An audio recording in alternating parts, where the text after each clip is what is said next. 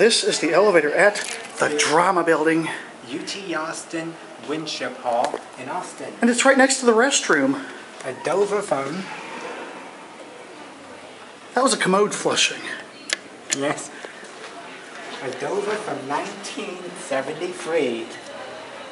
And these are, uh, you know that panel I have at home that I got off eBay? It's these same kind of buttons. Right. The old style Dover Classic. Okay. Enter. This thing is small. Let's go to two. Uh, Where are we? We're on one? Yes, go to two. Door closed when you push the button. I like that. Listen.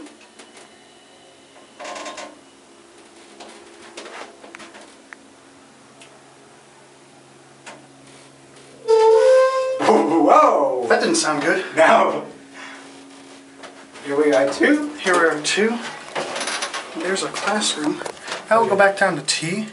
Uh, one actually. Or, Let's or one, I'm sorry. Okay. If you want to go to T, we can go to T. Okay. He wants to go to T, so we're going to T. And it's going to open at this side. That's a short little way down, and I am getting my cab view as that door opens up. Here we are, at T. ADA compliant phone. This is a nice elevator, Nick. It is. These are the fixtures. Older Dover Classic. I like that logo.